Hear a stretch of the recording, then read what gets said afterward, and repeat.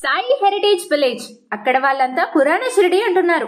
బాబా చరిత్ర కనుక మీరు చదివి ఉంటే ఈ ప్లేస్లో ఉన్న విలేజ్లో సిచ్యువేషనల్ స్టాట్యూస్ మిమ్మల్ని చాలా ఎమోషనల్ చేసేస్తాయి.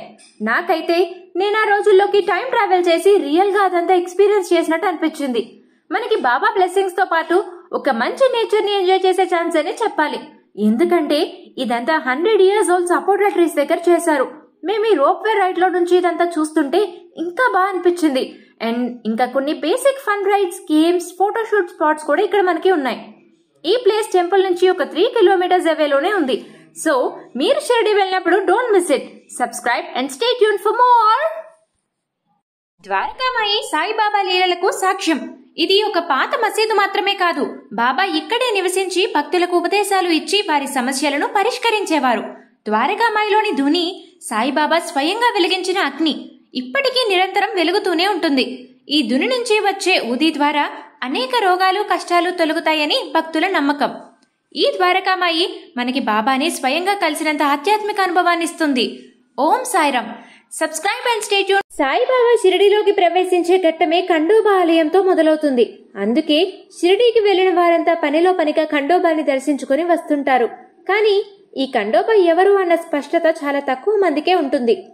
ఖండోబా అంటే దుష్టులను ఖండించే తండ్రి అన్న అర్థం వస్తుంది. ఆ పేరుని సార్థకం చేసేలా ఒక చరిత్ర కూడా ఉంది. ఒకప్పుడు మల్ల మణి అనే ఇద్దరు రాక్షసులు బ్రహ్మ ప్రసాదితమైన వరాలతో లోకాలను పట్టి పీడించసాగారట. వారి నుంచి కాపాడమంటూ దేవతలంతా బ్రహ్మ విష్ణువులకు మొక్కినా లాభం లేకపోవడంతో చివరికి శివుని చెంతకు చేరారట. దేవతల ఆర్తనాదాలను విన్న పరమేశ్వరుడు మార్తాండ భైరవునిగా రూపుదాల్చి ఆ ఇద్దరు రాక్షసుల్ని ఖండించాడట. అలా శివుడు ఖండోబాగా మారాడు.